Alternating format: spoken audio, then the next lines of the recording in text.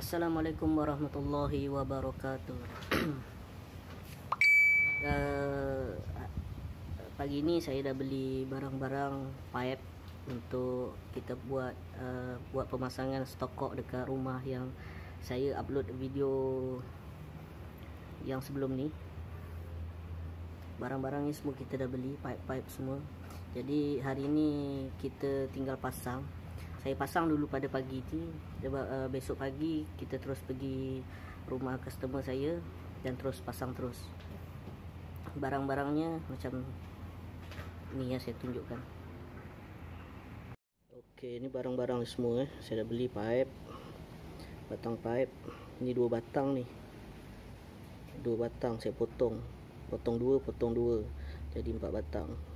Sebab nak masuk kenderaan tak cukup tak muat jadi saya potong kena, kena potong.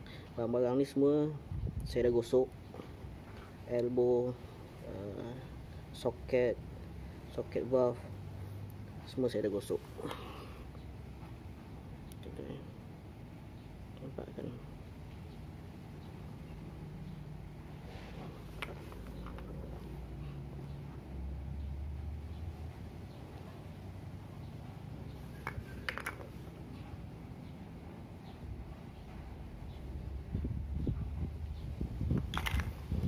kalau hmm, stokok saya lebih suka pakai yang jenisnya macam ni. Tak kisah mana-mana stokok pun boleh tapi saya lebih suka pakai ni. Tapi yang ni mahal sikit lah. Uh, tapi biarlah mahal. Yang penting uh, dia dia bagus lah pada saya. Hmm. ni harga dia memang agak mahal sikit lah ni berapa? 20 29 ringgit 80 sen. Tapi ada less lah sikit dalam 2-3 ringgit lah lebih kurang less dia. Ni yang 1 1 inci 1 inci 25 mm uh, dia kalau lagi kecil lagi murah lah. Kalau lagi besar lagi mahal lah. Uh, yang ni 29 ringgit 80 sen. Kita buat nak buat pemasangan 4 stokok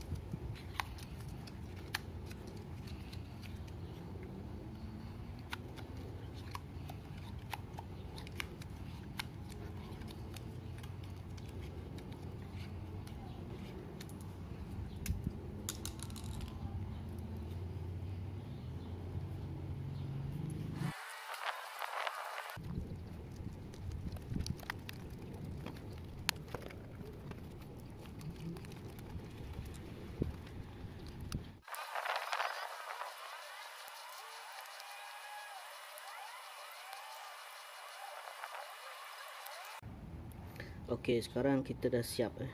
Kita dah siapkan 8. Sebab yang ni cuma 4, ni 8. Yang ni kita tinggalkan dulu untuk spare.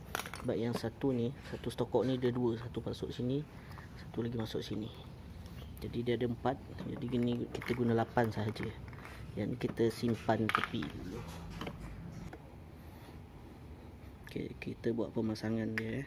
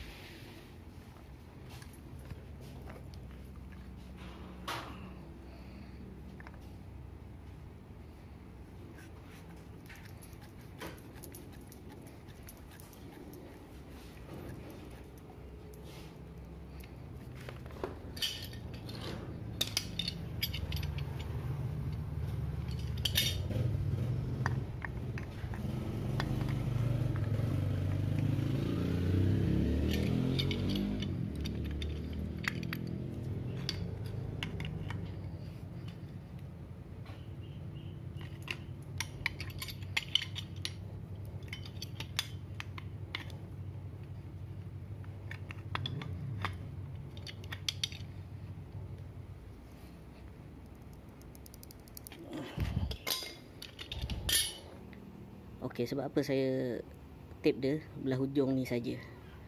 Sebab sebelum saya white tape, saya dah cuba dulu dekat dekat stokok ni, dia masuk tak habis. Jadi tak perlu sampai hujung. Jadi tak perlu sampai hujung. Tengok, dia masuk macam mana. Yang ni pun tak sampai hujung sini, yang ni pun tak sampai hujung sini. Jadi kita ketatkan kiri kanan cukup dah.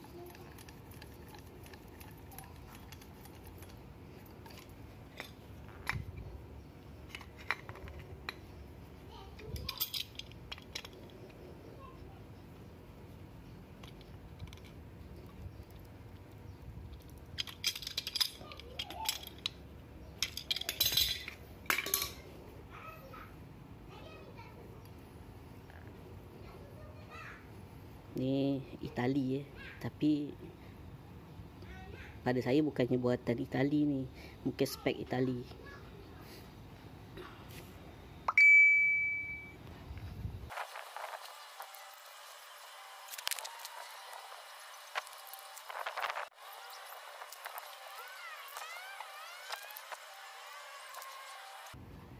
Okey, nanti waktu pasang saya dah ajar sebelum ni cara dia pasang yang ni penutup ni. Kita buka habis. Buka habis ni lawan jam. Lawan jam buka habis. Kita tutup sikit macam tu. Tengok dalam dia. Ok ni kalau kita tutup, tutup habis.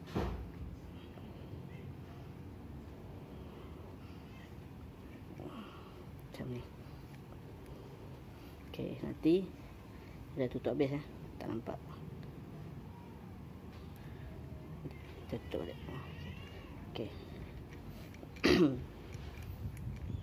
Okey. Kita buka habis macam ni. Buka habis lawan jam. Jadi terbuka kan.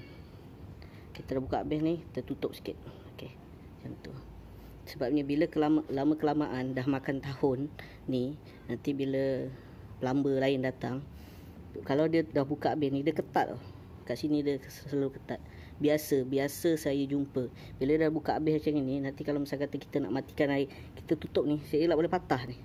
Sebab dia dah karat-karat air semua dah melekat kat dalam ni. Kat celah dalam ni.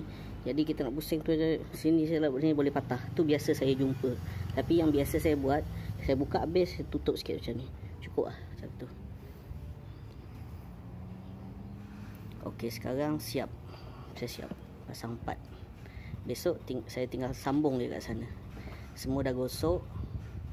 Uh, satu lagi untuk kegunaan gam eh. Macam saya, saya selalu beli gam yang warna biru ni lah. Ni Japan punya ni. Ni mahal sikit. Uh, yang saya beli ni memang yang besar lah. Sebab saya kerap guna. Tapi kalau tuan tuan puan, kawan-kawan beli yang kecil pun tak apa. Tapi yang kecil tak ada yang color biru macam ni. Dia yang ada biasa color color orange kalau tak silap saya yang ada. Yang ada jual kat kedai. Ha, tapi tu kurang bukan tak boleh pakai boleh pakai tapi dia kurang elok lah. Yang seloknya ni. Ha, lepas tu saya beritahu kalau buat connection buat connection uh, selepas gam selepas kita letak gam standard time dia sebenarnya 4 jam. 4 jam baru boleh baru boleh on air eh. tu sebagai peringatan lah. Sebab sebelum ni pun saya pernah beritahu juga dia 4 jam baru, baru boleh on air. Ok sekadar tu dulu perkongsian. Uh, besok saya akan pergi ke rumah customer saya untuk buat pemasangan. Ok ter terima kasih. Assalamualaikum